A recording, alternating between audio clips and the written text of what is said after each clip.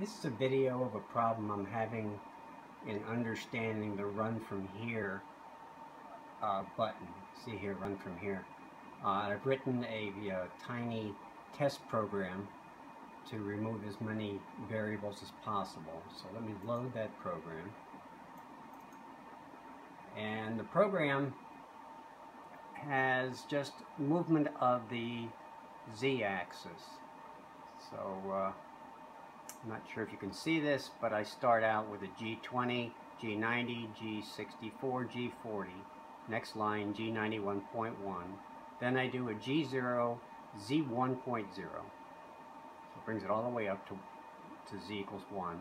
And then at a feed rate of 3, I go down to 0.9, next line 0.8, next line 0.7, next 0.6, and finally uh, 0.5, at which point the next line is an M30, notice that I'm only moving the z-axis. Okay, so now if I just do a cycle, oh, and you can see over here, x is 0, y is 0, and I've left z at 0.9394, and uh, my a-axis is 0. So I'll do a cycle start. And as you would expect, it's moving down No surprises there. Now this time, I'm going to stop the program partway through. So I did a, since it's executed to the end, I just do a cycle start, and I'm going to do a stop. Okay, did it right there. And let's say I want to go to line 3. So I entered 3, carriage return, run from here, alright, and then I do a cycle start, and look what I get. Okay, x equals 0, that makes sense.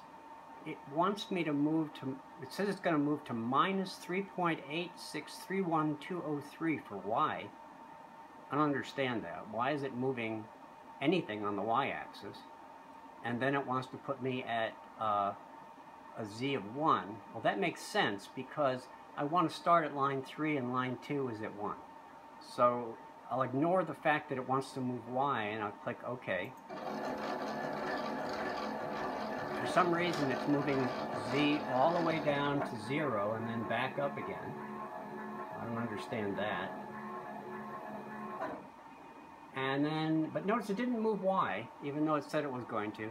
And now I'm going to do a cycle start, and sure enough, it executes from 3 four, five, etc. So, what's going on? That's all for now.